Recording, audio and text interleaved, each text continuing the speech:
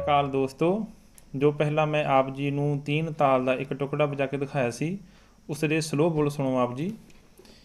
ਕੈ ਤੇ ਗੇ ਗੇ ਤੇ ਤੇ ਤੇ ਗੇ ਗੇ ਤੇ ਕਿਟ ਤੇ ਤੇ ਕਿਟ ਤਕ ਕਿਟ ਤਕ ਕਿਟ ਤਕ ਤੀ, ਧਾ ਤੇ ਧਾ ਤੇ ਕਿਟ ਤਕ ਤੀ, ਧਾ ਤੇ ਧਾ ਤੇ ਕਿਟ ਤਕ ਤੀ, ਧਾ ਤੇ ਧਾ ਤੇ ਦੁਬਾਰਾ ਸੁਣੋ।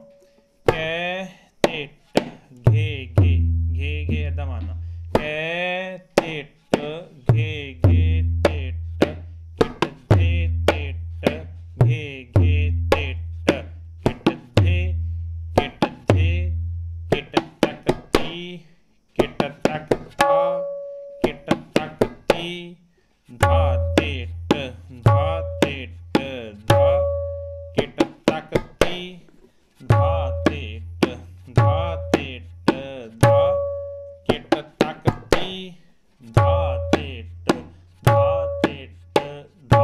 ਦੁਬਾਰਾ ਸੁਣੋ ਹੌਲੀ।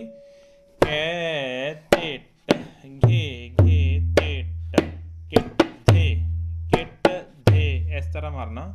ਕੈ ਟਿਟ ਘੇ ਘੇ ਟਿਟ ਕਿਟ, ਧੇ ਟਿਟ ਘੇ ਘੇ ਟਿਟ ਕਿਟ, ਧੇ ਕਿਟ, ਧੇ, ਇਸ ਤਰ੍ਹਾਂ ਮਾਰਨਾ। ਕਿਟ, ਧੇ ਕਿਟ, ਧੇ ਫੇ ਕਿਟ ਤਕ ਤੀ।